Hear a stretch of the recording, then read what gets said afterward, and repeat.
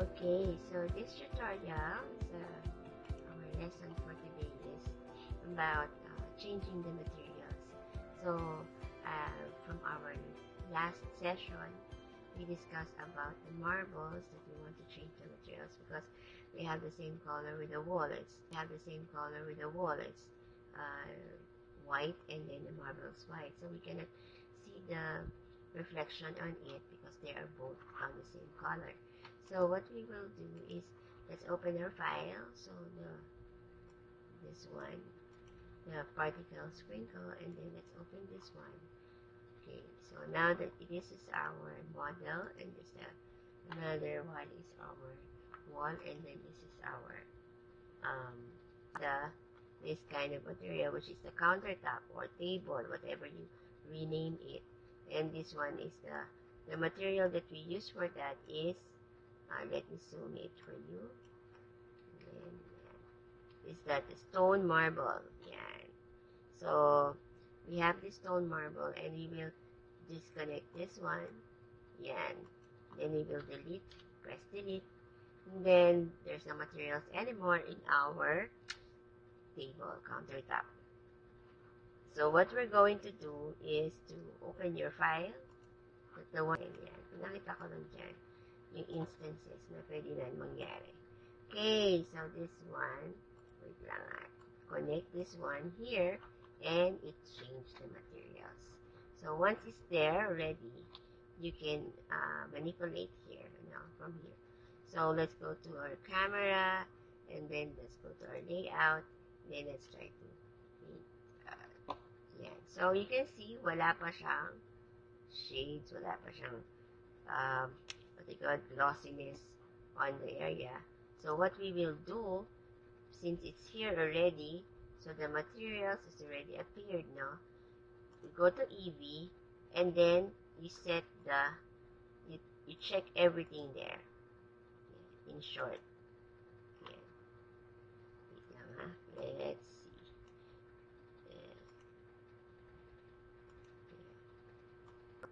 Okay, and also with this one, the shadow, don't forget to put a high bit here.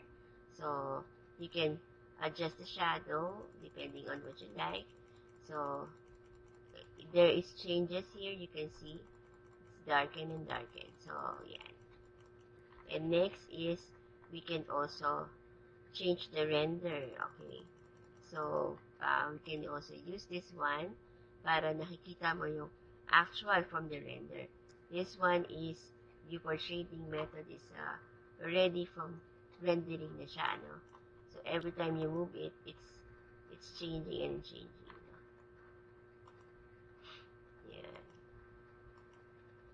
Okay. Yan. Ito naman yung ating blank. Okay. So, this diagram. Okay, so, uh, I noticed that the face of your uh, wall is not like this one. So what we need to do is when we yeah, when we click here and then you see this one, yeah, the overlay. So the overlay, you see what are the things, the materials that you have or the models that you have here on the project. And then when you turn it on, make sure you, when you click this, so you can see When it's all blue, it means yung faceless, you're in nasa harap ka. So, you see the face orientation. So, you can see it around here also. Red kapag ka hindi siya nakaharap. Yan, red.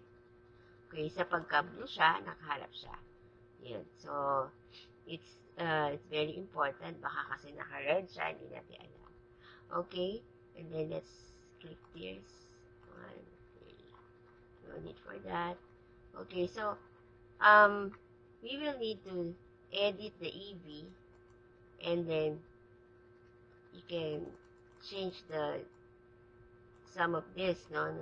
Then try to try to render edit, edit the exposure yan. Then kapag gusto mo madilim yan, yan. so malaking bagay din yan sa ating editing sa ating rendering. So this one the exposure, the gamma means the uh, color rhythmic of the the image, yan, you can adjust it. So, the important is you like what you're doing. And para ma-check natin yan, you can also check some of the some of the pictures of a donut uh, on a table, on a shiny table. Okay, so let's try to render this. What will happen?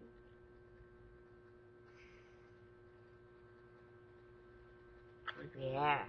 So, nakita mo that there is uh, already the donut is here, but as you can see, the camera, the frame, it's too near me, no? So, kailangan din natin i-adjust yun.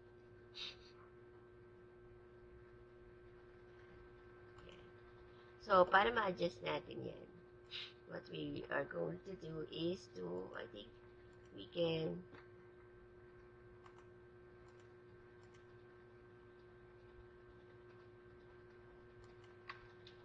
we can um, we can adjust the camera. Okay, so yun yung camera natin. We just need to make it a little bit far away from our. Then when you look at it, then when you look at it, ayan. So, medyo okay na tayo. So, para pag nag-move si donut, when we render that, hindi siya over malapit naman sa atin. Ayan. And may enough space siya for the plate.